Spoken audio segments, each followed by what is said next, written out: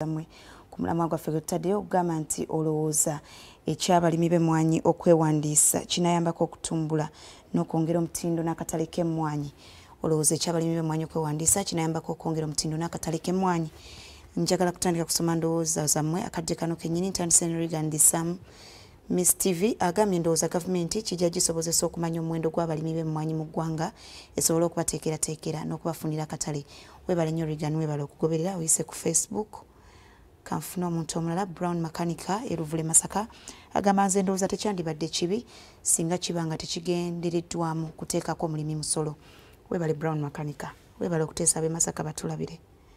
Webale n'okugoberera. Marcos malcolm k agamba kituufu nnyo era kijja kuyambako. Malcolm webale okuteesa webale okugoberera terefayina n'amawulire gaffe nyanja masho ebukulula kasasa agamba nze nyanja masho ebukulula kasasa ndowooza nti kijja kuyambako ku mutindo wamu n'akatale mu ggwanga n'okwongerako okubasomesa okulima emmwanyi mu buganda.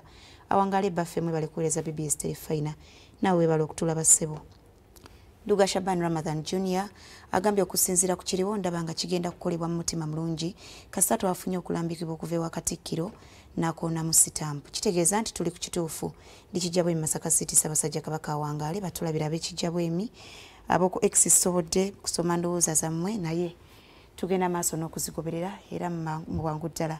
Tujja kuba nezimutongera okuziddamu temukoowa kuteekayo. Olwaliro ne luli teesa anti omulamwa gwaffe guwagirwa abo abajubiri insurance. Akanyomero ku mulamwa